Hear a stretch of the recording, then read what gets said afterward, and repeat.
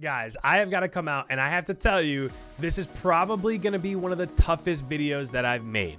In today's video, we're going to be taking a look at all the main ARs across all 12 of the CDL teams. So that's only 12 players, and we're going to be taking each of those and putting them into a tier list. So as we bring up this graphic, we have the S tier, A tier, B tier, and C tier. And as part of this, I'm only allowing myself to put three players in each of those tiers. So we'll have three in S, three and A, so on and so forth. And that's where this gets really tough because I think a lot of these main ARs are really good. And it's so difficult to determine who should be in that C tier because I don't think any of these guys are particularly bad.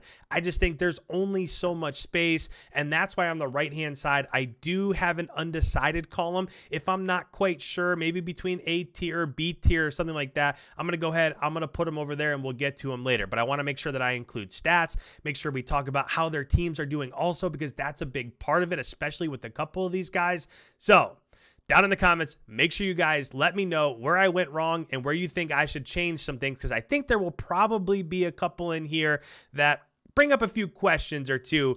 But without further ado, let's go ahead. Let's name off our players. So we're actually going to go in reverse order of the teams. So we're going to go Insight, Octane, Aqua, Clayster, Accuracy, Seany, Kenny, Assault, Skyz, Crim, Formal, and Arcitys. So this is the route that we're going to take. And we're going to get started right there with Insight. So, as soon as Insight came onto the scene, a lot of people were super shocked that Zinni went ahead and got benched, right? For the longest time, it was no Zinni, no Winnie. And that got completely flipped on its head. And the biggest reason why is because of Insight. Now, a lot of these tier rankings will be based off of how they're playing right now. I will take into consideration like the last stage or maybe how they're doing throughout the season. But as of right now, and I know that he doesn't have a ton of matches overall and stages to pull from, but right now, Insight might be the most impressive AR out there in the CDL. When it comes to his hardpoint KD 1.17, it is like a tenth higher than anybody else on this entire list. His engagements per 10 minutes are super high. His SND KD is 1.52, and it's not even close. He has the highest SND first blood percentage. I mean, this kid is really making it happen for Toronto. Of course, they're seeing a ton of success, but he is a big reason for it. So, I don't know if you guys agree overall. If we were talking about their careers in total and including Modern Warfare last year and stuff like that, we could probably go through and change some things. But right now, if you give me insight on my squad, I'm going to be hyped. So I'm going to go ahead and I'm going to put him in the S tier. This might be controversial just from the get go here, but we're going to roll with it. Next up here, we've got Octane, and Octane is a tough study just because of how his team is doing overall. Of course, you can think back to last year. I'm going to try not to do it, but they did struggle a bit last year. But as the stages have gone on, Seattle is playing a lot better, and that has to count for something. Of course, Prestinni's success plays into that, but when I look at Octane, he has a 1.07 KD in hard points. If you go down, he has a 1.21, the second highest overall SND KD.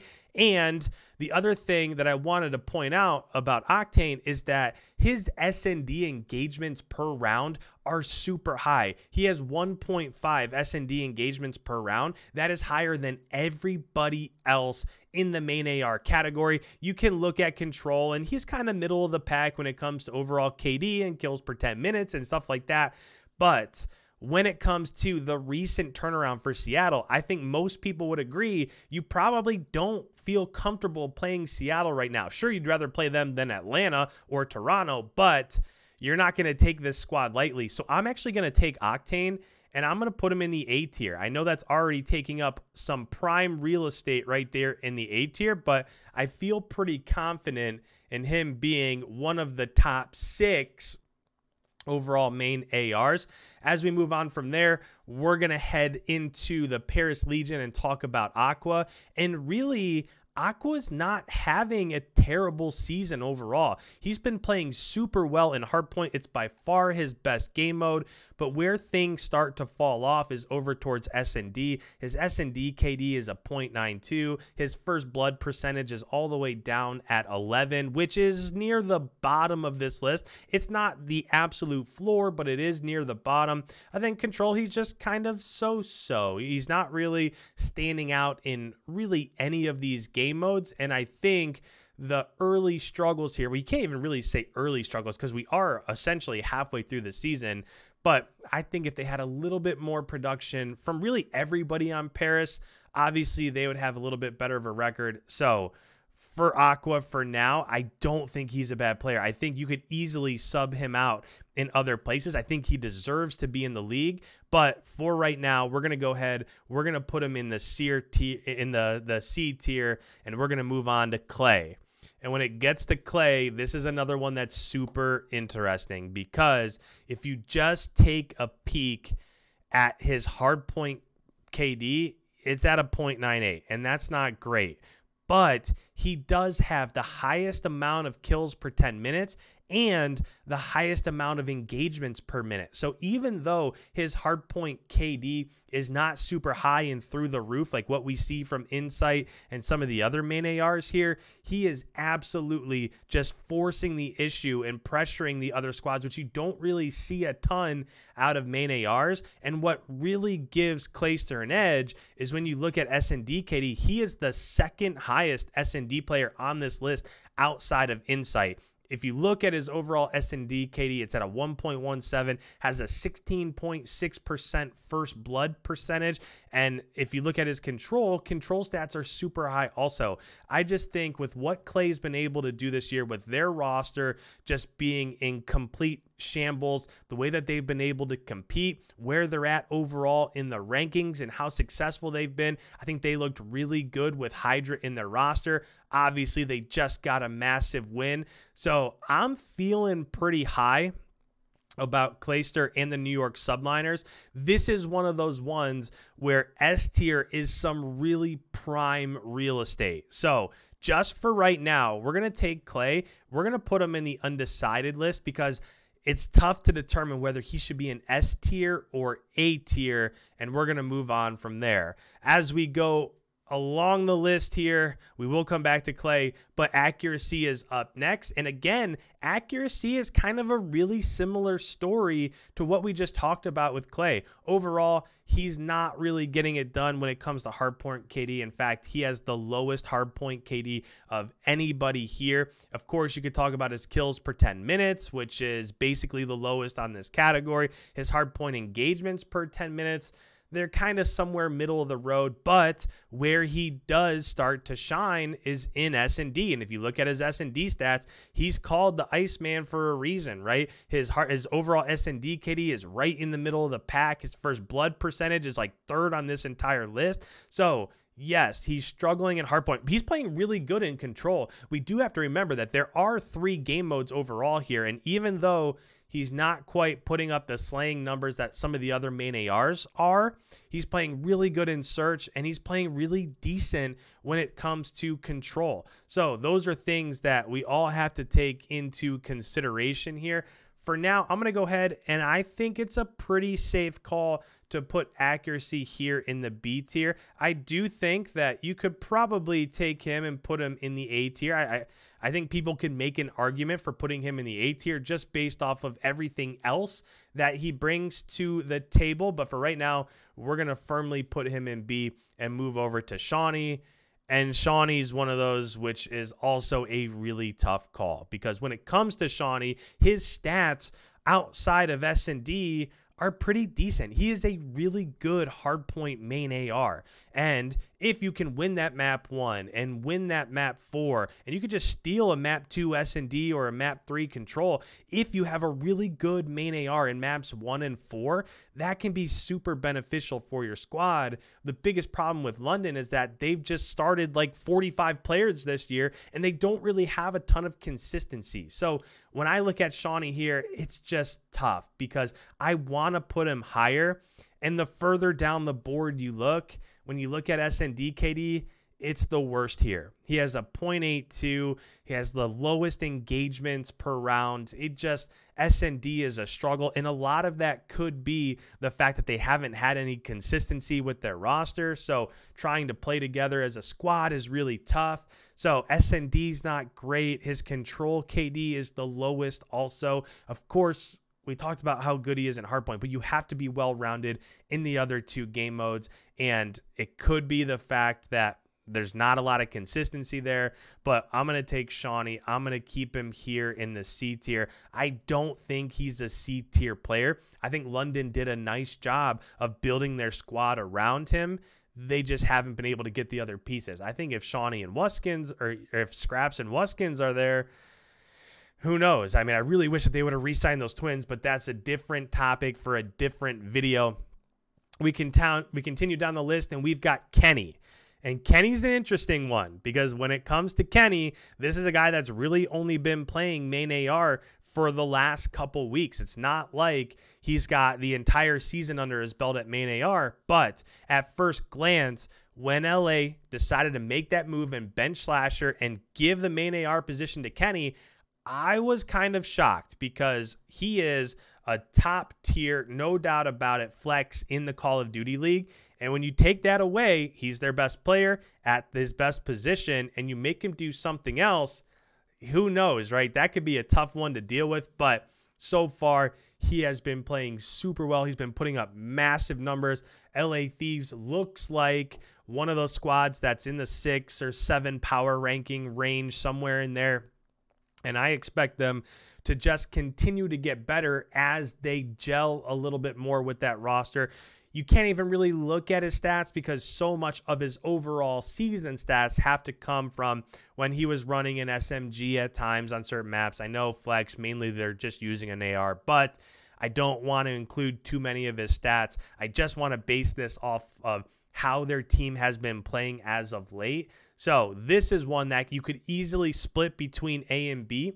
I am going to put him in the B tier for now. I should probably put him over there in the undecided range, but I don't want it to get too hectic over there, right? We've already got Clay sitting there, so that's a decision we have to make for later.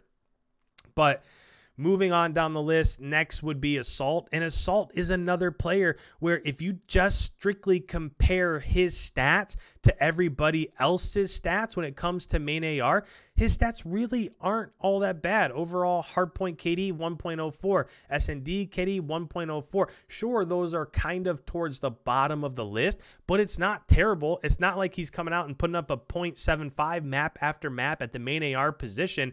Where he struggles a little bit is with the number of engagements in hardpoint, with the number of engagements in control. He is towards the basement when it comes to those numbers. And interestingly enough, his best mode is in SND, and anytime you see like a slower hardpoint player or a slower control player, you kind of don't expect their hard or their their SND first blood percentage to be pretty high, but his is at four or his is at 17.1, the second highest of the main ARs. And that's just one of those stats that as I was looking through this and I got to assault, I was just confused at how you know, some of his other game modes he plays so slow, but when it comes to SND, he's getting first bloods everywhere.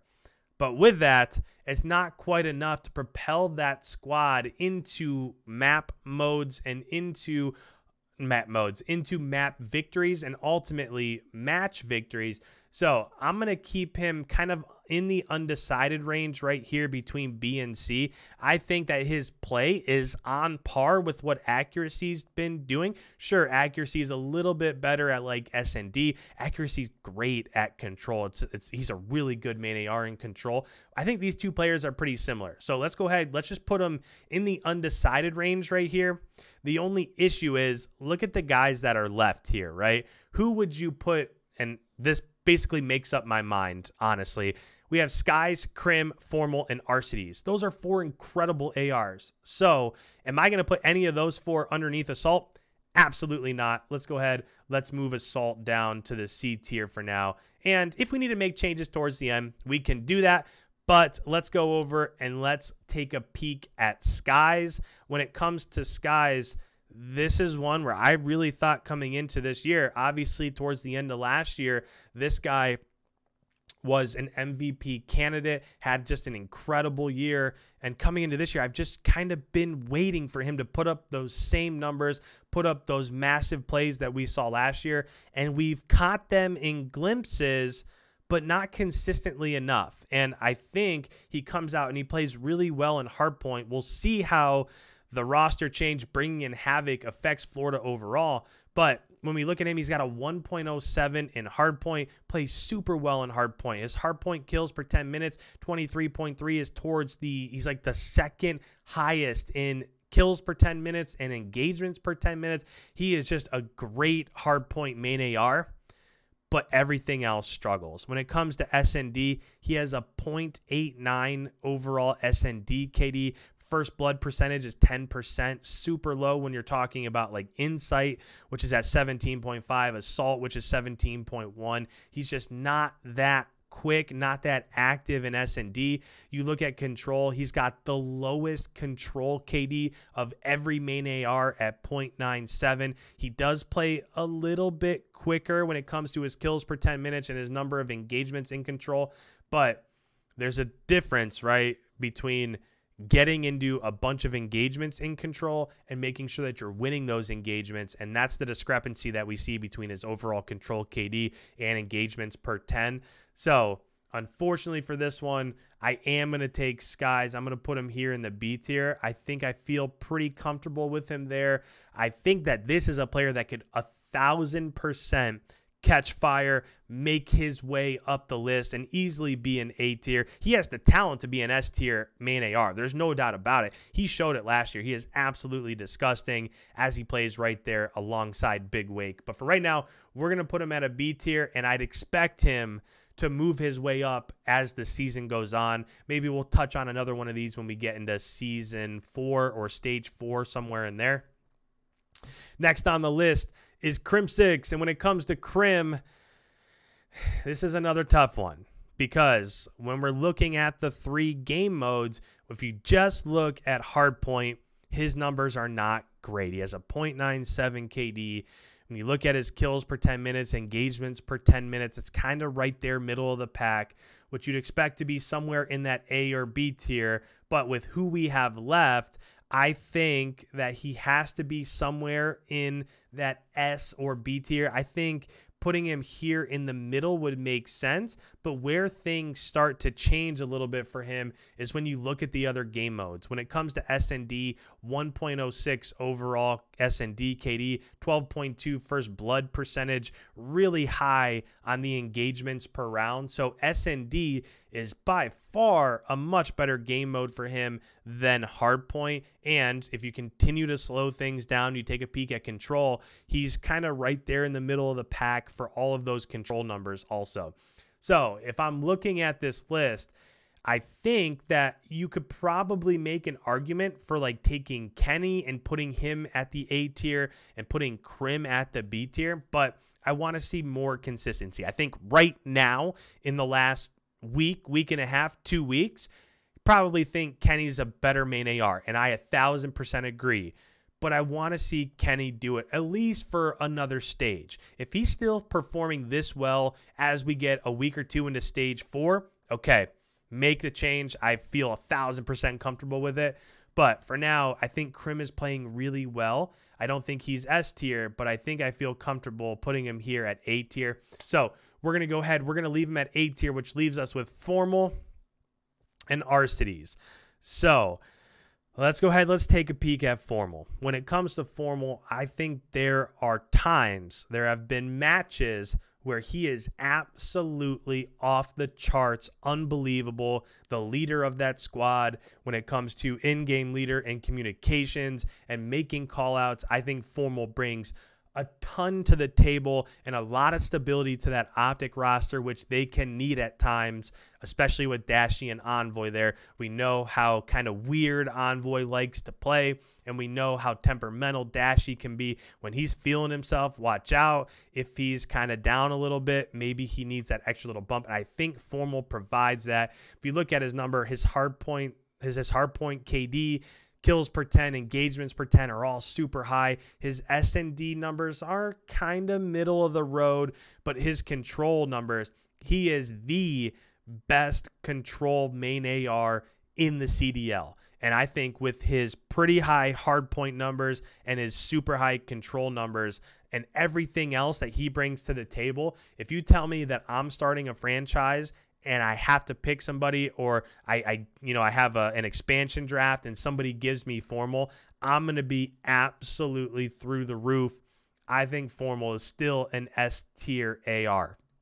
I think sure you can make an argument with putting him at A tier, but this game suits him really well and he's been playing incredibly. So I think he deserves that. I think, again, his hardpoint numbers, his control numbers, if he could just get a little bit more consistent at S&D, watch out. But there's no doubt about it. He's still one of the top three main ARs in the CDL, which brings us to Arcitys. And if you just control, if you just take a peek at Arcitys versus Clayster and their numbers, there's not really a big comparison here. Clayster's hardpoint numbers are better. His S&D numbers are better.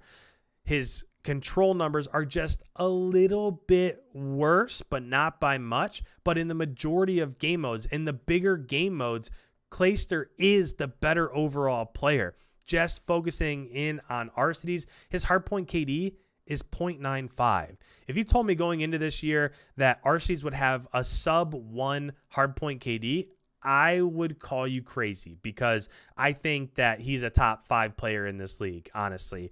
And if you look across his S&D KD, 0.92. His control KD 1.05, but that puts him still right in the middle of all of these lists. And even more so than that, his control kills per 10 and engagements per 10 are also pretty low. So it's not like he's running around getting in a ton of engagements and winning a lot of those gun battles and map control for his team. Of course, you can say, well, they have Simp and aBeZy to do that and just be tiny terrors and gain map control and put a ton of pressure on the enemy. That's true, but there are just so many stats when I look at Arcitys. I'm just I'm kind of surprised that he's not playing higher than what he currently is. And also, the most glaring one for me, his SND first blood percentage is 9.3%. It is the absolute lowest of any main AR on this list. Now, you can say, well, he's got he's got aBeZy on his squad, and aBeZy's first blood percentage is like a thousand and five hundred. I mean, he's just absolutely insane. So that's obviously going to take away from everybody else's overall percentages a bit. But he's just not playing super well or super fast or being in those entry engagements in S and D. Control is so so. Hard point is probably not where you'd expect him to be. If I'm starting a squad today, I take Arcitys over Clay but the way that they're playing overall and what they're doing for their squad right now, I think you have to put Arcitys as A tier and you have to put Clay as S tier. I think you can make a ton of arguments here. I think that you could switch Clay and Arcitys. I think that you could probably switch Crim and Kenny. Maybe Assault and Accuracy down towards the bottom. There are a ton of changes that you can make here which I'm sure you guys are going to come through and tell me. So, down in the comments below, let me know what changes you would have made, what you might not agree with. Maybe you don't agree with Insight being an S tier either, but the kid's been playing unbelievable. All right, no more analysis. Thank you guys so much. If you're new around here, you enjoy these sort of videos, make sure you hit that subscribe button and leave a like as it super helps out the channel. And with that, thank you guys so much. We'll see you in the next upload.